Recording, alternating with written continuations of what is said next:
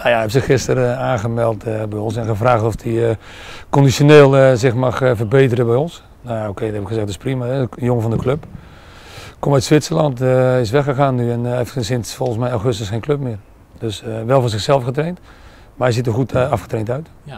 Eh, nu heb ik vaker gehoord dat de spelers hun conditie op peil komen houden. Ja, en dan gaan ze vaak... En eh, 90% van de Ja, vallen tekenen ja. nog een contract. Zover zijn we nog niet, maar eh, nou ja, hij, hij traint er prima mee. Dus ik ga eens kijken de, de komende weken wat hij zelf wil en eh, wat de club wil. En eh, dan gaan we kijken, misschien, eh, ja, misschien kunnen we gebruiken, misschien niet. Want ik zie hem nu maar één training aan het Ja. werk. Maar mij kan je dan gelijk al wel zien dat het een aanwinst voor FC Dordrecht zou zijn.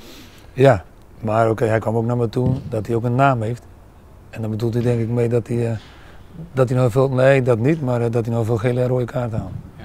En Nou. daarom, daarom denk ik ook dat hij niet echt aan de slag komt in Nederland. Ja, maar bij FC Dordrecht weten ze wat hij kan, toch? Dus Ja, ik moet ik zeggen, kijk, bij Dordrecht wel, maar ik heb hem zelf natuurlijk niet meegemaakt. En eh, ik zie hem ook voor het eerst in, de- in de training hier zo, maakt een prima indruk.